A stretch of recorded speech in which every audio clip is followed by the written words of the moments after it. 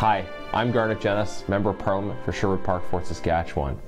It's my pleasure to extend warm greetings to the Falun Day celebration on Parliament Hill to mark 30 years of Falun Dafa in Canada. I would like to recognize the Falun Dafa community for the contributions you have made to Canadian society.